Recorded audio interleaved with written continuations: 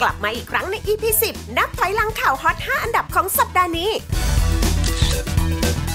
เริ่มที่อันดับ 5 ด้วยเรื่องราวของสองสาวที่เหมือนจะมีกลิ่นความรักโชยมาเบาๆ ระหว่างมิ้นท์มิณฑิตาและสาวมั่นซิลวี่ ภาวิดา หลังทั้งคู่ผลัดกันโพสต์รูปคู่สุดสวีทมาได้สักพัก ล่าสุดมิ้นท์ยอมรับความสัมพันธ์กับซิลวี่เป็นความรู้สึกดีที่อยากจะค่อยๆ เรียนรู้กันไป ถูกใจเพราะไลฟ์สไตล์เดียวกัน และถ้าคุณจะมองว่าเป็นแฟน เธอก็สบายๆ ไม่ซีเรียส ที่สำคัญยังย้ำด้วยว่าเธอไม่เคยคบใคร เพราะว่าเขาเป็นเพศไหน แต่ขอมองที่ตัวตนสำคัญกว่า อะ จบปิ๊งไปคิดต่อกันเอาเองตามสบายอย่างที่มิ้นท์บอกเลยจ้า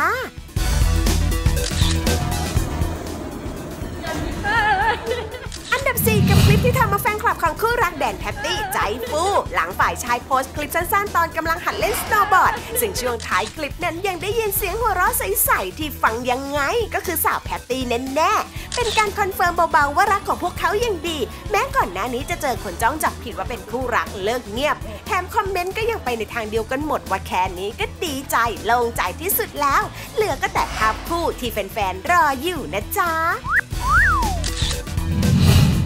อันดับ3กับกระแสความปังของแม่วันทอง 2021 ใหม่ดาวิกา ที่ทำเอาเจ้าตัวหายเหนื่อยกับเรตติ้งทั้งในชีวิตจริงและละครล่าสุดยังกลายเป็นดาราในเมืองไทยที่มีผู้ติดตามใน IG สูงสุดถึง 12 ล้าน6 5 8 0 0 คน แสงหน้าแชมป์เก่าที่ครองตำแหน่งมานานอย่างแม่อัมพัชราภาไปเฉียดฉิวแค่ 40,000 แต่เธอก็ถ่อมตัว พร้อมตอบคำๆสงสัยยอดพุ่งเพราะเสื้อแมวที่เธอชอบใส่อวดหุ่นบางๆ นั่นเองค่ะ ขอบคุณนะคะดีใจที่แบบคนแบบว่ากดติดตามกันอะไรอย่างเงี้ยค่ะแต่ถ่ายรูปสวยๆให้ทุกคนดู แต่ใหม่ก็ไม่ได้อยากให้ทุกคนไปโฟกัสว่าจะต้องเลขเท่าไหร่จะต้องแบบเยอะน้อยกว่าใคร ตรงนั้นน่ะไม่สำคัญมันสำคัญตรงที่ว่าแบบใหม่รู้สึกว่าเออมันมีคนรักเราเพิ่มขึ้นเราก็ดีใจยอดเราจะพุ่งมาที่แบบว่าเสื้อแม่มาใส่ ไม่รู้ว่ายอดเพิ่มตอนนั้นหรือเปล่าแต่ว่ายอดไลค์อะแน่นอน คือเราอยู่หน้ากล้อง เราก็ต้องดูแลตัวเอง เพื่อให้คนเห็นเรารู้สึกแบบว่า ชื่นตาแบบชื่นใจว่าเออเป็นนักแสดงดูดีทั้งในจอและนอกจอนะอะไรอย่างเงี้ยค่ะ เราก็คือแค่ดูแลตัวเองนิดนึง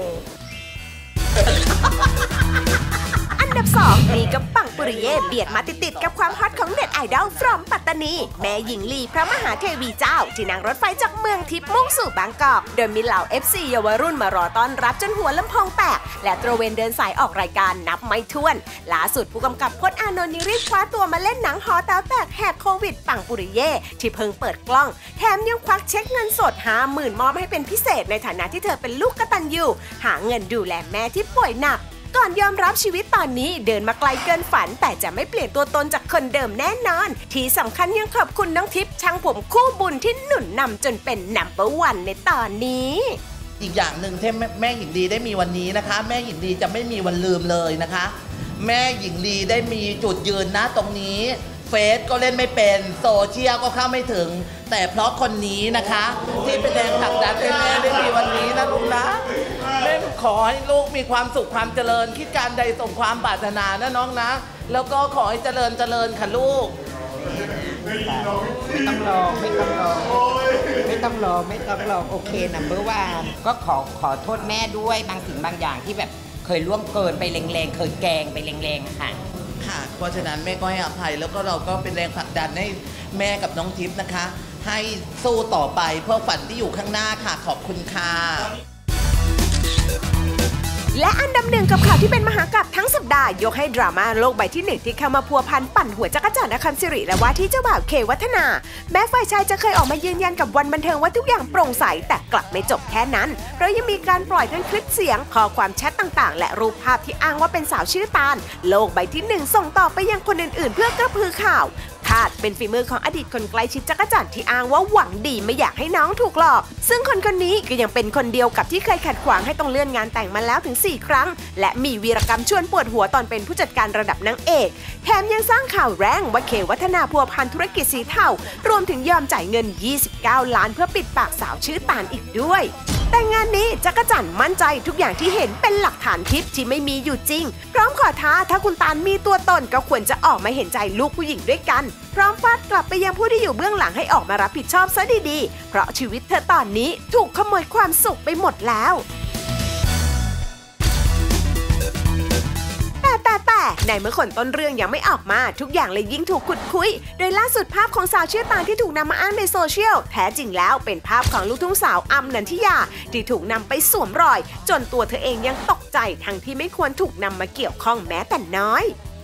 ไม่น่าจะมีคนชื่อตานะคะ ค่อยๆไล่สเต็ปว่าเออมันเกิดอะไรขึ้น เราไปอยู่ในชื่อของคนชื่อตาล ไปเกี่ยวข้องตรงนั้นได้ยังไง แล้วใครเป็นคนเอาภาพเราไปใช้ตรงนี้ ซึ่งเขาไปทำแบบนี้มันเป็นสิ่งที่ไม่ดีอะค่ะ เอาเราไปแอบอ้างในทางที่เสียหายอะค่ะ ก็กำลังรวบรวมหลักฐานอยู่พี่จังเขามีความมั่นใจอยู่แล้วนะคะ ว่าหนูไม่ใช่คนชื่อตาลเขาก็ได้แต่บอกแบบน่ารักมากเลยค่ะบอกว่าเออขอให้เพลงน้องดังๆนะอะไรเงี้ยพวกเราต้องสู้ๆนะดีแล้วล่ะที่เราออกมาปกป้องตัวเอง ก็ได้แต่บอกว่าให้เขาออกมาแสดงตัวแล้วก็ขอโทษค่ะแล้วก็ออกมารับผิดชอบในสิ่งที่ตัวเองได้ทำไว้อะค่ะ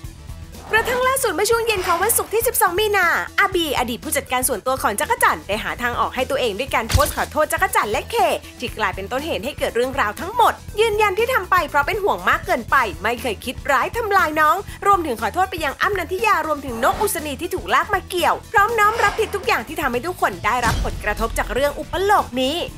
ซึ่งจากประเด็นนี้ยังมีอีกหนึ่งคนสำคัญก็คือบุ๋มปนัดดา ที่ต้องออกมาขอโทษสาวจักรจันทร์ทั้งน้ำตา หลังเป็นคนเสนอข่าวโลกใบที่หนึ่งเพียงเพราะเชื่อในสิ่งที่อาบีอดีตผู้จัดการส่งมาให้ และยอมรับโง่เองที่พลาดพลั้งนำเสนอไปโดยไม่เช็คข้อมูลให้ดี จนทำให้จักรจันทร์ต้องเจ็บปวดกับเรื่องนี้ ซึ่งหลังจบการแถลงข่าวทั้งคู่ได้ต่อสายตรงเคลียร์ใจทันที โดยบุ๋มยืนยันอยู่เคียงข้างเพื่อดำเนินคดีกับคนผิดแน่นอน